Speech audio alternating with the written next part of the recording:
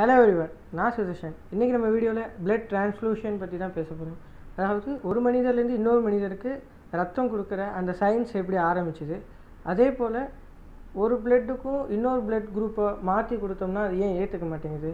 இதெல்லாம் பற்றி தான் இந்த வீடியோவில் பார்க்க போகிறோம் இந்த வரைக்கும் இந்த சேனல் சப்ஸ்கிரைப் பண்ணனா மறக்காமல் சப்ஸ்கிரைப் பண்ணிக்கிங்க. வாங்க வீடியோக்குள்ளே போகலாம். சிக்ஸ்டீன் டுவெண்ட்டி எயிட்டில் வில்லியம் ஹார்வே அப்படின்னு ஒரு பிசிஷியன் என்ன பண்ணுறாங்க அப்படின்னா பிளட் வந்து யூனி டைரக்ஷனல் அதாவது ஒரு டைரக்ஷனில் தான் வந்து பாடியில் வந்து நகருது அப்படிங்கிறத கண்டுபிடிக்கிறாங்க. இந்த கண்டுபிடிச்சக்கப்புறமேலே பிளட் ட்ரான்ஸ்ஃபர் பண்ணலாம் ஒரு மனிதர்லேருந்து இன்னொரு மனிதருக்கு அப்படிங்கிற ஒரு ஐடியா வருது.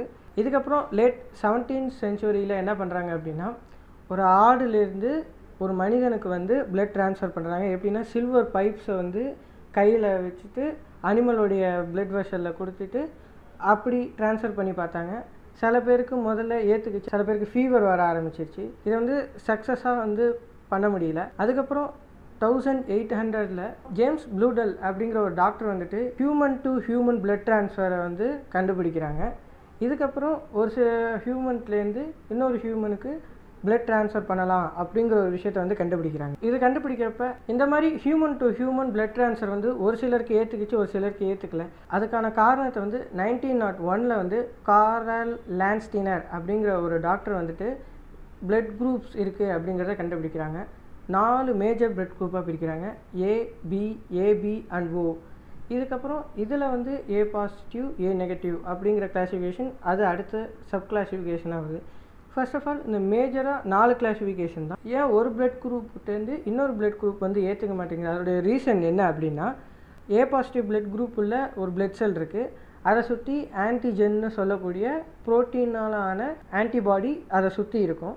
இன்னொரு ஏ பாசிட்டிவ் பிளட் செல்லையும் அதே போல் ஆன்டிபாடிஸ் இருக்கும். இது ரெண்டுத்தினாலே ஒன்று சேர முடியும்.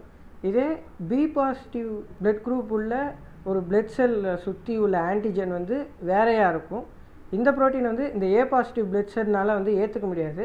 அது என்ன பண்ணால் இது வந்து ஒரு பாக்டீரியா மாதிரி நினச்சிக்கிட்டு அதை வந்து அட்டாக் பண்ணி அந்த பி பாசிட்டிவ் செல்லை வந்து அழிச்சிடும் இதனால தான் வந்து சேம் பிளட் குரூப் உள்ளவங்களுக்கு மட்டும்தான் வந்து பிளட் ட்ரான்ஸ்ஃபர் பண்ணணும் அப்படிங்கிற ஒரு ரீசன் வந்து இருக்குங்கிறத தெரிஞ்சுக்குங்க.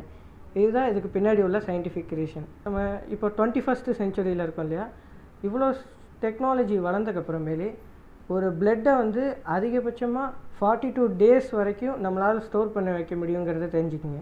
இன்றைக்கி பிளட் ட்ரான்ஸ்ஃப்யூஷனுடைய ஹிஸ்ட்ரி பற்றியும் அதோடைய சயின்ஸ் பற்றி தெரிஞ்சிருப்பீங்க நம்புகிறேன் இந்த வீடியோ உங்களுக்கு பிடிச்சிருந்தா ஷேர் பண்ணுங்கள் லைக் பண்ணுங்கள் அண்ட் தேங்க்யூ ஃபார் வாட்சிங் திஸ் வீடியோ